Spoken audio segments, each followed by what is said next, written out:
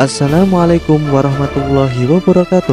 Bertemu lagi bersama channel ini dalam pembahasan sejarah dunia yang berusaha untuk mengajak teman-teman untuk uang ensiklopedia sejarah baik selama kurun waktu sebelum masehi ataupun sesudah masehi.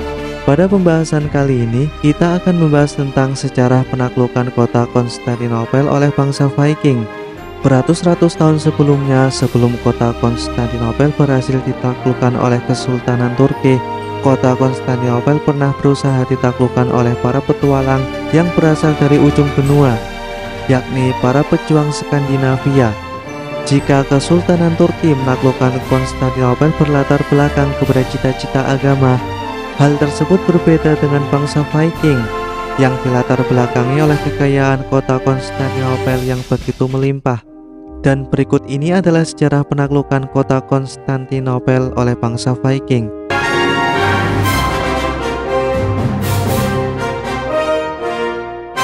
Di zaman sejarah zaman Viking, beberapa pakar sejarah mengelompokkan Viking menjadi beberapa kelompok berdasarkan regionalnya, yaitu bangsa Viking yang berasal dari Denmark, Norwegia, dan Swedia. Namun pada kali ini kita tidak akan membahas sejarah semua Viking. Kita hanya akan membahas penaklukan kota Konstantinopel. Dengan kata lain, bangsa Viking yang dimaksud adalah Viking dari Swedia. Para pejuang dari Swedia pada waktu itu dikenal sebagai Varangian atau Rus. Mereka melakukan perjalanan yang berlawanan dari orang-orang Denmark dan Norwegia. Jika Denmark dan Norwegia ke barat, maka orang-orang Swedia melakukan perjalanan ke Tanah Baru di timur, melewati sungai Volga dan Dnieper.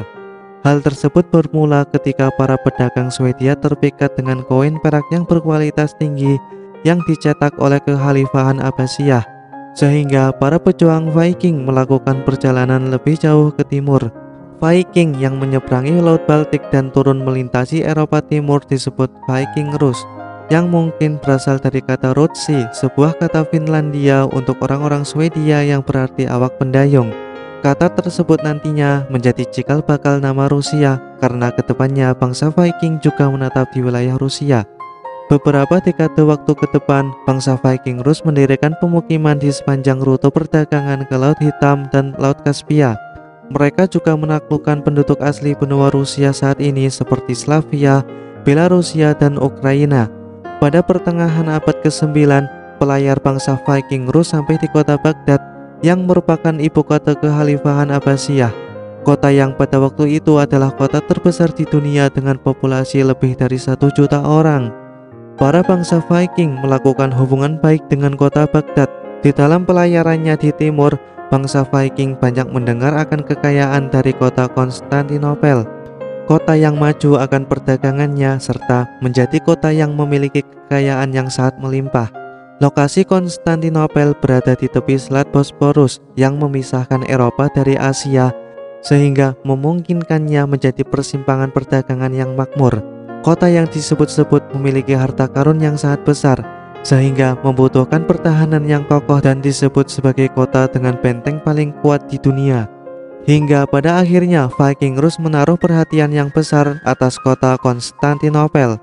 Hubungan antara Viking Rus dengan Bizantium memburuk ketika Bizantium membangun benteng Sarke di wilayah Rusia Eropa sekarang di mana tempat tersebut merupakan operasi para Viking dan para pedagang Skandinavia Timur. Dengan pembangunan benteng tersebut membatasi rute perdagangan Viking Rus di sepanjang Sungai Don. Pada tahun 860 Masehi, bangsa Viking melakukan serangan ke Konstantinopel. Karena pada waktu itu bangsa Viking melihat kesempatan di mana pada waktu itu Kaisar Michael III meninggalkan kota Konstantinopel menuju Asia Kecil untuk menyerang kekhalifahan Abbasiyah. Kaisar juga membawa seluruh resimen elit Imperial Takmata yang biasanya merupakan pasukan elit penjaga benteng, sehingga Konstantinopel hanya dijaga garnisun kota biasa di bawah pimpinan Nicetas Oripas. Begitu juga dengan kekuatan armada laut Bizantium untuk membantu melawan orang Arab di Mediterania Timur serta sebagiannya lagi pergi ke barat untuk membantu melawan Viking Denmark yang telah menembus Italia. Saat tiba malam hari pada tanggal 18 Juni 860, armada Viking yang terdiri dari 200 kapal muncul dari Selat Bosporus untuk menyerang kota Konstantinopel. Diperkirakan pasukannya terdiri dari 5.000 hingga 20.000 pasukan yang langsung menyerbu pantai. Namun dengan cepat Nicetas Oripas langsung menutup gerbang tembok serta menyiapkan penjaga garnisun kota biasa. Selain itu juga memanggil para milisi kota untuk ditempatkan di tembok kota. Pasukan Viking sebelumnya berencana untuk menyerbu kota ketika malam hari sudah tiba dengan mengalahkan jumlah garnisun kota yang sedikit. Namun upaya mereka gagal ketika pertama kalinya melihat benteng dengan tembok tinggi serta memiliki parit yang kuat. Bahkan mereka tidak membawa menara pengepungan yang digunakan untuk menaklukkan benteng. Sehingga pasukan Viking hanya menyerang pinggiran kota dan pesisir Laut Marmora. Siang sampai malam, pasukan Viking membantai dan menjarah kota-kota di sekitar Konstantinopel. Namun tidak berani menyerang kota Konstantinopel secara langsung. Selama enam minggu pengepungan, pasukan Viking bahkan tidak ada yang menyentuh tembok Konstantinopel. Hingga pada tanggal 4 Agustus pasukan Viking berkemas-kemas untuk pulang setelah mereka tahu pasukan utama Kaisar dan Angkatan Laut Bizantium telah kembali.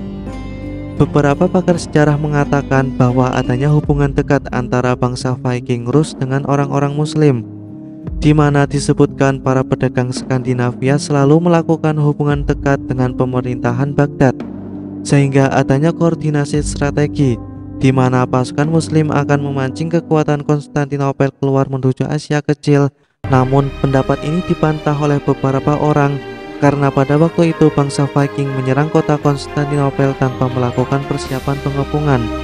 Bagaimana mungkin kota yang dijuluki sebagai kota dengan benteng terkuat di dunia berusaha untuk ditaklukkan tanpa menyiapkan penaklukannya terlebih dahulu?